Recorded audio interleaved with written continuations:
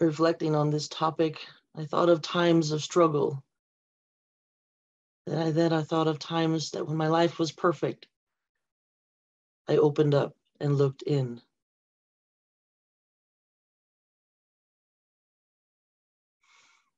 Hmm. Right now, it's strong, strong with me to share an example.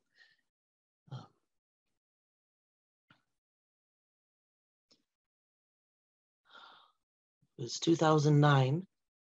I'm in Hawaii, I'm very successful in life, various careers, businesses. I had the toys. I had this beautiful truck that I bought in 2003. I bought a Harley that I bought in 2005. And I golfed three, four times a week, sometimes hopping the outer islands just for the day to golf. And yet, there was this black hole in my chest and my my my center. Emptiness depression lack. I was going to sleep crying. I was waking up in, in tears full on tears and i'm like what is wrong? I should be happy. I should be flying high. Um went to the, the therapist even they kind of like, I don't know what's wrong. and they kind of sent me on my way. I'm like, wow, thanks. That was helpful. Um, so I went to a sacred place that I feel very uh, connected to the all that is on Oahu. it's a beach on the west side and very secluded. And I stayed there for like three, four days. And I cried and I yelled and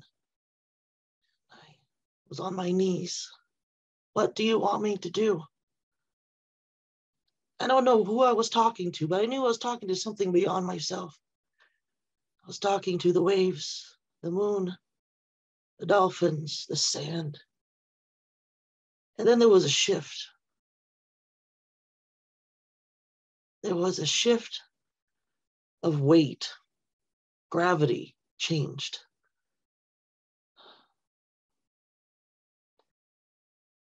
I felt lighter. I felt weightless. And my arms just went out and open.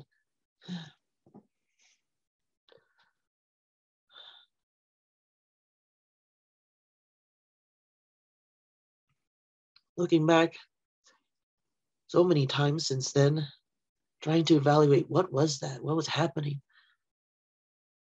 This month makes 10 years I've been committed to and part of this ministry in this community of Sunrise Ranch. 10 years, the fourth of my life. exactly. And every time I go back to that moment, I'm in that moment, in this moment. I was sharing about it a bit last night with some friends. My current realizations around this is that I was so focused on being a masculine energy in my life the doing, the doing, the doing, penetrate, accomplish. That when I got the message in 2009, better yourself and be of service, I was like, I'm pretty good already. I can rock anything. Give me what do you want. What do you want me to do? I'll learn it. I'm gonna accomplish it. I'm gonna be perfect it. You know, it wasn't doing that I was being asked. It was being opening up, bringing the beingness into the doingness in balance.